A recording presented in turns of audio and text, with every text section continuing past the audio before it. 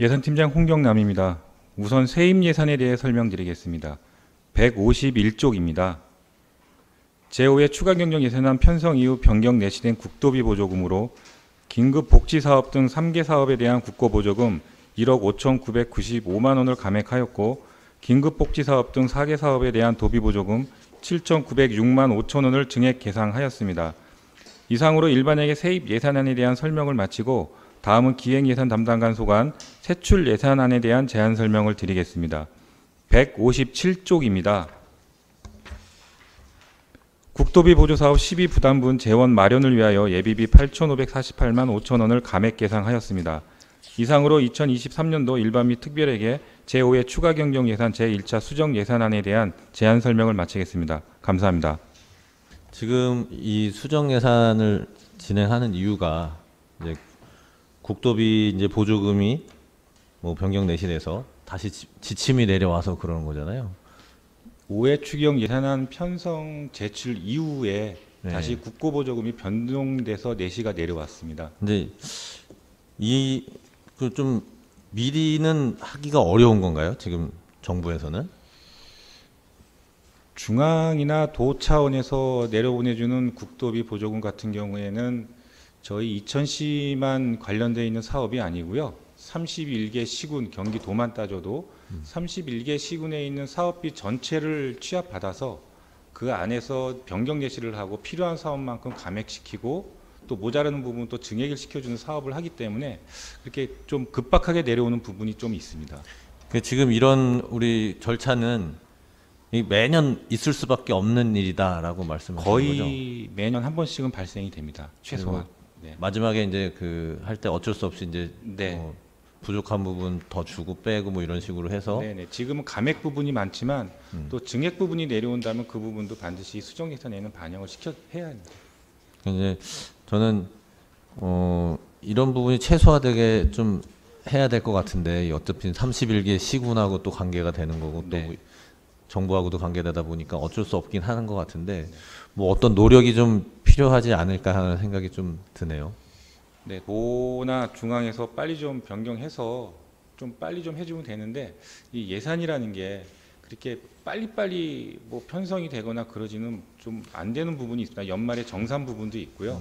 또 남아 있는 부분에 대해서 다음 연도로 넘겨지는 부분도 있고 해서 그런 부분들까지 정리해서 도에서 취합해서 하려면은 시간이 조금 더 걸리는 부분이 있습니다. 근데 보통 보면은 제 생각에는 이제 시군에서 언제까지 그런 예산을 올릴 거고 그걸 이제 도에서 취합해 가지고 이제 부족한데 다시 이렇게 조절해서 이렇게 하라고 또 내려가고 이런 과정을 거칠 것 같은데 시군이 무- 더 문제가 많은가요? 시- 도가 더 문제가 많은가요? 그 단적으로 말씀드리기는 조금 어렵습니다. 그 부분은 네, 다 알겠습니다. 사정들이 네. 제각기 있기 때문에요. 네, 이상입니다. 네, 안녕하십니까 노인장애인과장 이운영입니다. 존경하는 예산결산 특별위원회 어, 김지원 위원장님 그리고 계속되는 의정활동에 노고가 많으신 의원님들께 진심으로 감사를 드리며 아, 복지환경국 소관 2023년도 일반 및 특별역의 제5회 추경 수정 예산안에 대해 설명을 드리겠습니다.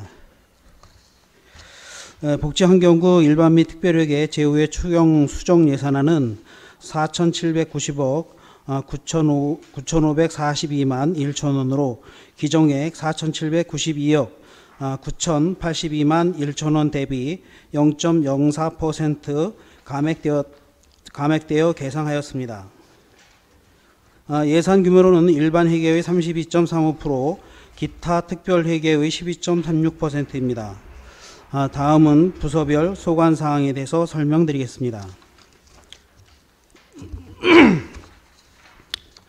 아, 먼저 161쪽 복지정책과 소관 사항에 대해서 설명드리겠습니다.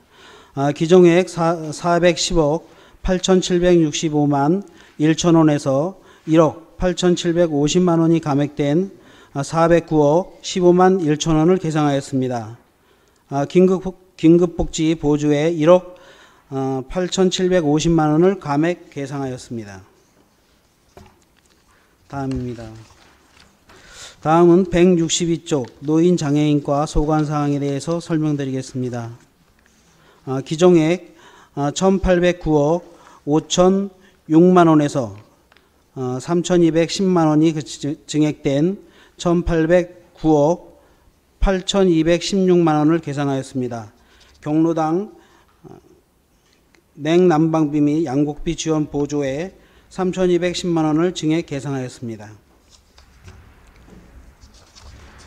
다음은 163쪽 여성 보육과 소관 사항에 대해 설명드리겠습니다. 아, 기정액 8, 895억 6,436만 8천 원에서 4천만 원이 감액된 895억 2,436만 8천 원을 계상하였습니다. 아, 부모 급여 지원 보조에 4천만 원을 감액 계상하였습니다. 다음은 171쪽 복지환경국 명시 2월 사업에 대해서 말씀드리겠습니다. 어, 청년아동과 학대 피해 아동 쉼터 설치비 지원 보조 민간 위탁 사업비에 아, 8천만 원을 명시 이월하였습니다.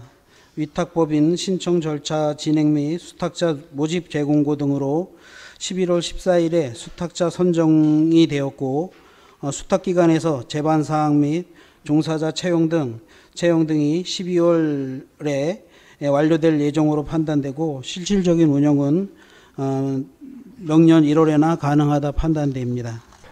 예, 안녕하십니까. 안전건설국장 이강민입니다. 안전건설국 소관 2023년도 제5회 추가경정 제1차 수정 예산에 대한 제안 설명을 드리겠습니다. 안전총괄과 소관 172쪽입니다.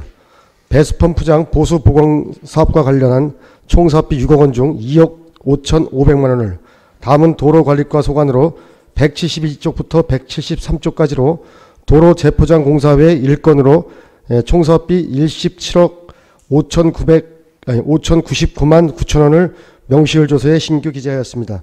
이상으로 안전건설 소관 예, 제5회 추가 경정 제1차 수정 예산에 대한 제안 설명을 마치겠습니다. 네, 안녕하십니까. 첨단 미래도시 추진단장 김종호입니다. 네, 첨단 미래도시 추진단 소관 제5회 추가 경정 제1차 수정 예산안에 대한 제안 설명을 드리겠습니다. 미래도시과 소관 167쪽입니다.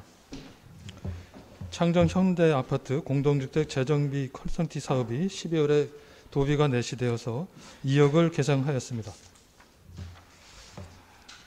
다음은 명시열 사업에 대해서 설명드리겠습니다. 173쪽입니다. 문화의 거리 2구간 도시재생 사업에 대해서 디자인 등 지역의 주민 협의가 지연이 돼서 설계 용역 및 전기공사 용역이 지연되는 바람에 1억 4,969만 2천 원을 명시 이월을 하고자 합니다. 174쪽입니다. 네, 앞서 말씀드린 창전 현대아파트 공동주택 재정비 컨설팅 사업이 5회 추경에 반영되는 바람에 반영되어서 2억을 명시 이월하고자 합니다. 네, 이상으로 첨단 미래도시 추진단 소관 2023년도 제5회 추가 경정 제1차 수정 예산안에 대한 제안 설명을 마치겠습니다. 감사합니다. 안녕하십니까 농업기술센터 소장 장상엽입니다. 명시열 사업조서 174쪽 농업정책과 소관 설명드리겠습니다. 가수 고품질 시설 현대화 사업 1억 2,570만 9천 원을 2월하였습니다. 2월 사유는 의무 자조금 미납 및 사업 포기자가 발생해서입니다. 본 예산을 가지고 내년도 사업 대상자를 추가로 선정하여 가지고 사업을 실시하고자 합니다. 이상으로 농업기술센터 소관 23년도 일반 및 특별에게 세입세출 제외 추정 수정 예산안에 대하여 제안 설명을 마치겠습니다. 감사합니다. 2월 사유가 사유에 다- 사업 포기자 다수 발생하는 이유가 어떻게 되시는지 좀. 저희가 본 사업에 대해서 당초 선정이 39농가가 사업 대상자로 선정이 됐었고요. 금년도에 사업을 완료한 농가는 29농가입니다.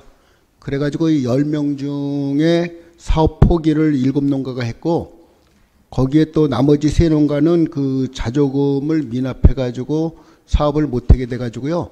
이 사업비 잔액 남은 게 한 1억 2천 정도가 남다 보니까는 저희가 내년도에 그 사업 물량만큼 추가 대상자를 선정해 가지고 사업을 하려고 이렇게 이월하게 되었습니다. 그럼 포기하는 이유가 있으면은 내년에도 그 이유 때문에 사업을 신청하시는 분들이 적어지진 않을까요? 그거에 대한 뭐 대안이든가 뭐, 음, 뭐 뭔가를 이제 바꿔서 하는, 해야 되나요? 아니면은 그거보다는 저희가 불용액 처리해 놓은 것보다 2월 시켜서 하게 되면은 금년도 사업 가지고 내년도에 사업 대상자를 더 선정할 수 있고 또 내년도 사업은 또 별도로 또 사업 대상자를 주- 또 선정할 수 있기 때문에 저희 시군으로 봤을 때는 농업인들한테 사업을 더 줄 수 있는 상황이 되겠습니다. 네, 예, 알겠습니다. 더 질의하실 의원님 있으십니까? 질의하실 의원님이 없으므로 농업기술센터 소관 수정 예산안에 대한 질의 종결을 선포합니다.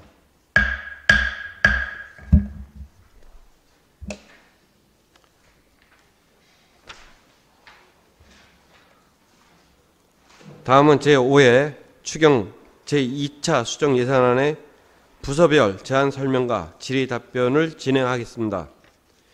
윤정한 계획 담당관 직무 대리께서는 교육 중으로 홍경남 예산팀장이 일괄 제안 설명해 주시기 바랍니다.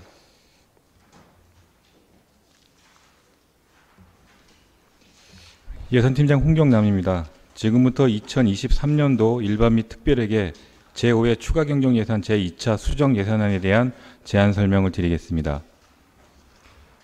2023년도 제5회 추가 경정 예산 제2차 수정 예산안은 특별교부세 추가 교부 사항을 반영하기 위하여 편성하였습니다. 예산 총 규모는 1조 6,302억 9,400만 원으로 기정액 대비 14억 원이 증액되었습니다. 회계별로는 일반회계가 기정액 대비 14억 원이 증액되었으며 특별회계는 변동 사항이 없습니다. 다음은 세부 편성 내용을 설명드리겠습니다. 일반회계 세출 예산 중 분야별로 내역을 설명드리겠습니다. 교통 및 물류 분야에 14억 원을 증액 계상하였습니다. 이상으로 2023년도 제5회 추가 경정 예산 제2차 수정 예산안에 대한 제안 설명을 마치겠습니다. 감사합니다. 다음은 이보철 전문위원님이 일괄 검토보가 있겠습니다.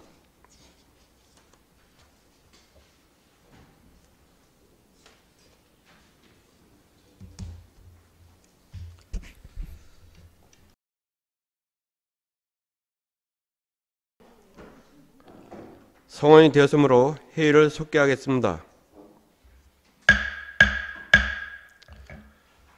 상정된 2023년도 일반 및 특별회계 세입 세출 제5회 추가 경정 예산안과 제1차 수정 예산안 및 제2차 수정 예산안을 의결하도록 하겠습니다.